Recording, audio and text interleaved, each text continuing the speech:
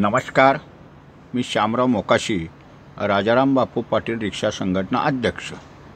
आणि आजचा जो आपला विषय आहे हा प्रत्येकानं हा व्हिडिओ पाहायचा आहे आणि तात्काळ शेअर करायचा आहे. हे मात्र कोणी विसरू नका आणि त्यातूनच आपणाला कसा न्याय मिळेल ते पाहायचं आहे.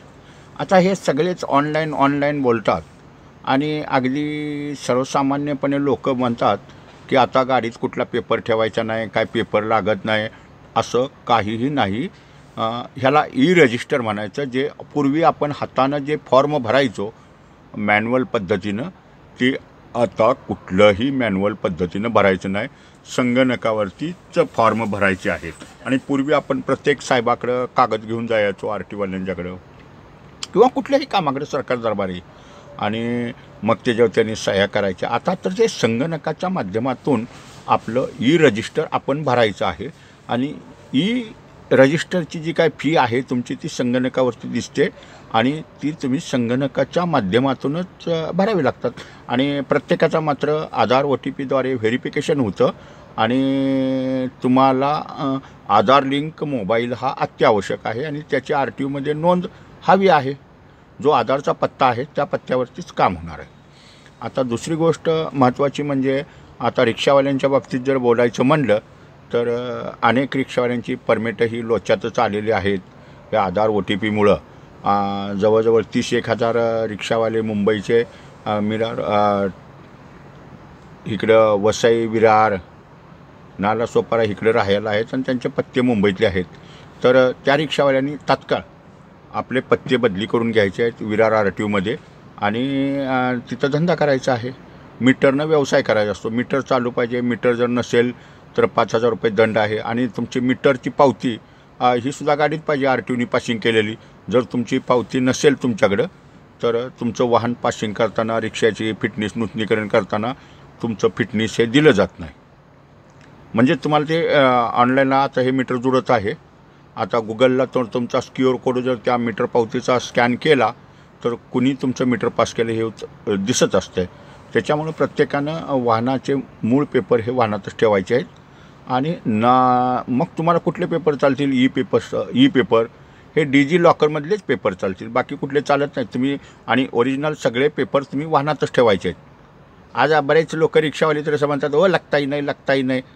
सगळे पेपर लागतात आणि जर तुमच्याकडे झेरॉक्स कॉपी जरी असतील आणि तुम्हाला वाहतूक अधिकाऱ्यानं पकडलं तर तुम्हाला ओरिजिनल पेपर नाहीत म्हणून फाईन मारला जातो. पेपर दाखवत नाही म्हणून.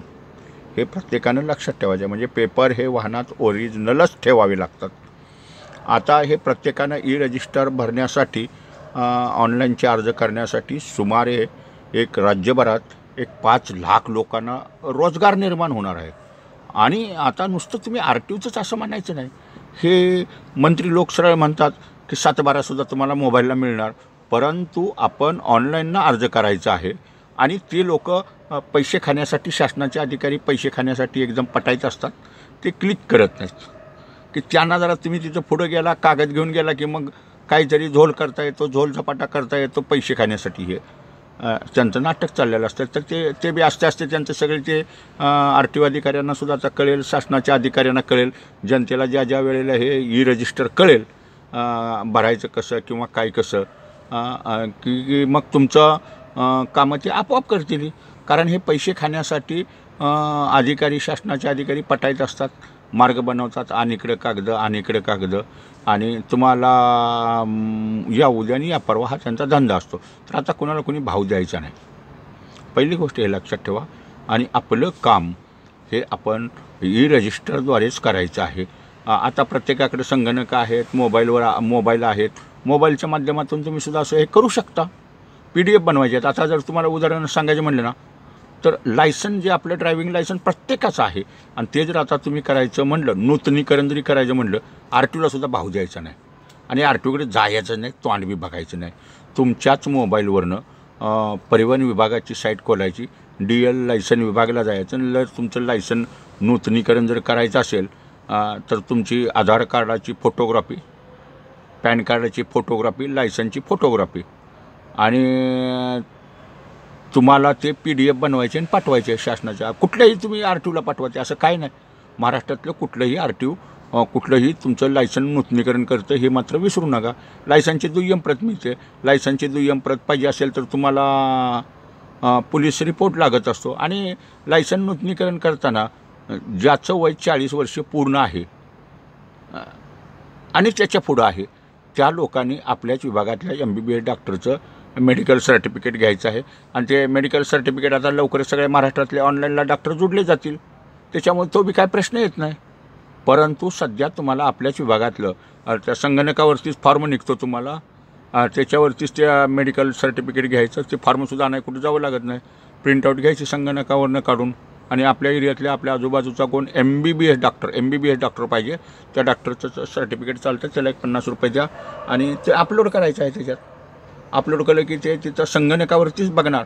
कनिष्ठ कर्मचारी तुमचे ते आलेला अर्ज इन्व्हर्ट करणार.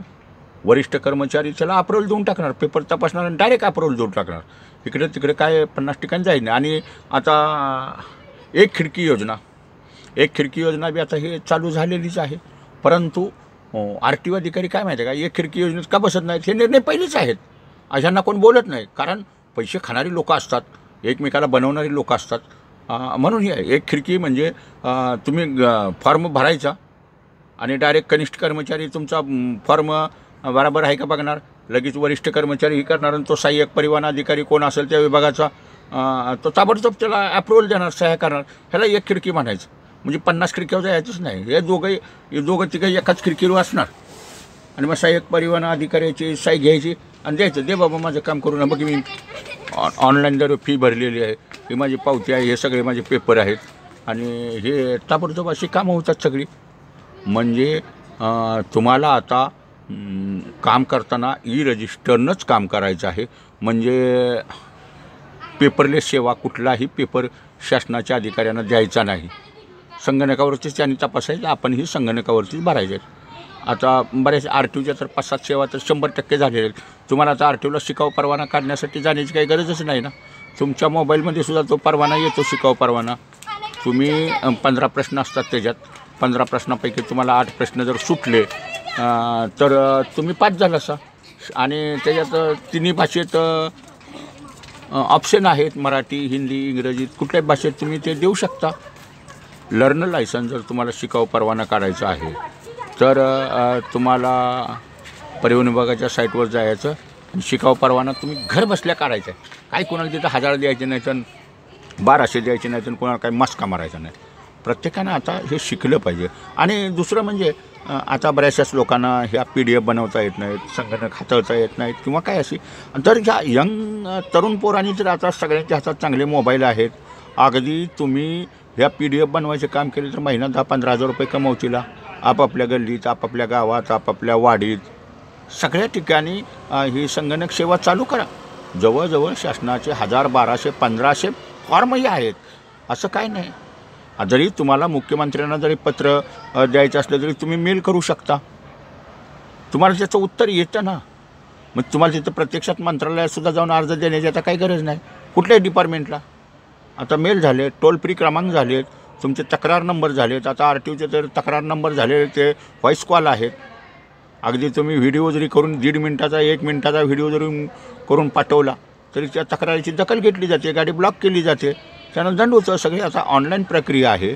तर माझं असंच लोकांना सांगणं आहे की बाबा आपापल्या गावात आपापल्या वाडीत आपापल्या ठिकाणी नाक्या नाक्यावरती हे सुशिक्षित बेरोजगारांनी काम करावं. कुणाला पी डी एफ बनवायला येत नाही त्यांनी बाहेर बोर्ड लावावा बाबा आम्ही इथं पी डी एफ बनवून देऊ शासनाचे अर्ज भरून देऊ आणि आम्हाला तीस रुपये द्या. घेऊन टाका तीस रुपये तुम्हाला कोण हसत हसत लोक देतील. पण तुम्हाला हे काम आता संगणकाच्या माध्यमातून करायचं आहे. त्यासाठी प्रत्येकानं आता काम केलं पाहिजे. अगदी रिक्षाचं जर पासिंगसुद्धा सातशे रुपये होतं. पण रिक्षावाला तो ऐकायलाच मागत ना हमार गुरु हमार परमिट हमार गुरु हमार परमिट. अरे तुम्हारा गुरु तर तुम जानो गुरु और तुम तुम्हारा परमिट तर तुम्हालाही आहे परमिट काय किसको भी मिळत आहे आणि परमिट बी रिक्षाचे चालू आहेत कुणाला कामधंदा नाही नोकरी नाही त्यांनी परमिट काढू शकता गाडी घेऊ शकता ऑनलाईन अर्ज करायचा आहे प पंधरा वर्षाचा महाराष्ट्र राज्याचा दाखला तुम्हाला बिल्ला बिल्ला मिळतो सगळं. त्याच्यासाठी काय नाही टेन्शन असं. आणि ह्या ऑनलाईन प्रक्रियेतनं जर तुम्ही हे काम केलं तर आपली वेळ वाचणार आहे बचत होणार आहे. आणि ते आर टी ओला जायचं वीस किलोमीटर पन्नास किलोमीटर काही आवश्यकता नाही. तर प्रत्येकानं शंभर टक्के फेसलेस सेवेनं सुद्धा काम करायचं आहे. हे जर काम केलं तर दोन पैसे आपलेच वाचणार आहेत. सेवा सुधारणार आहे. आणि फक्त कायदेला माहिती झालं लोकांना कळालं की होतं आहे तर प्रत्येकानं आता हा व्हिडिओ शेअर करा. प्रत्येकाला जर कळालं हे फेसलेस बाबा असंच काम होतं आणि हेच काम होणार आहे दुसरं काही होणारच नाही.